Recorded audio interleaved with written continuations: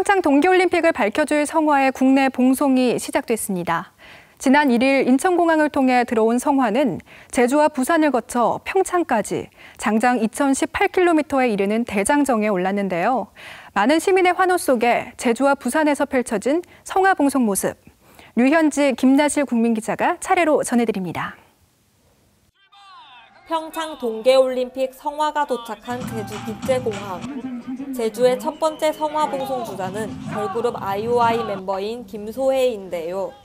제주가 탄소 제로의 청정한 섬을 꿈꾸는 만큼 전기 자동차를 타고 성화를 봉송했습니다. 어, 일단 이렇게 첫 주자가 되어서 정말 영광이고요. 어, 이렇게 된 만큼 한번 멋지게 해보겠습니다. 많은 시민들의 환호와 응원 속에 다른 주자가 성화를 이어받아 달립니다. 이번에 동계올림픽에서 대한민국 선수들 모두 저, 좋은 성과를 내셨으면 좋겠습니다. 대한민국 화이팅!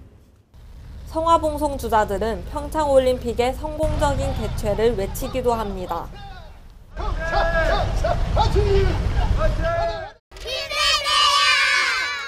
처음 만데 신기하고 좋아요. 예, 성화 봉송하게 돼서 영광이고요.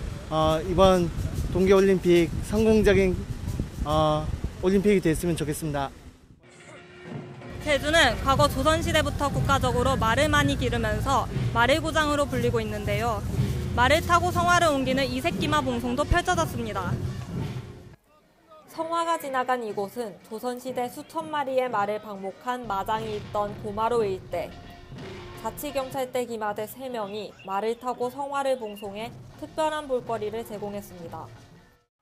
이틀째 성화 봉송. 가장 눈길을 끈 것은 성산이 출봉 앞바다에서 펼쳐진 수중봉송입니다. 제주도의 상징인 해녀가 특수 제작된 성화봉에 불꽃을 옮겨 바닷속으로 뛰어들었는데요. 바닷물 속에서도 활활 타오르는 성화를 들고 바닷밑까지 잠수하는 이색적인 장면을 보여줬습니다.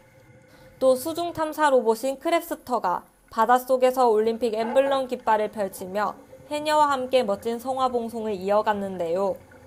올해 유네스코 인류 무형문화유산으로 등재된 제주 해녀와 함께 우리의 우수한 첨단 기술을 전 세계인들에게 마음껏 자랑한 순간이었습니다.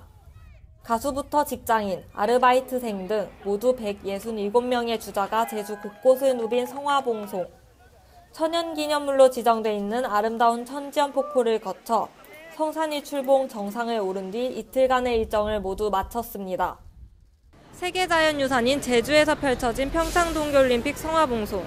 말과 해녀, 수중로봇까지 참여한 보기 힘든 장면 연출로 전 세계인들의 눈길을 사로잡았습니다. 국민리포트 류현지입니다.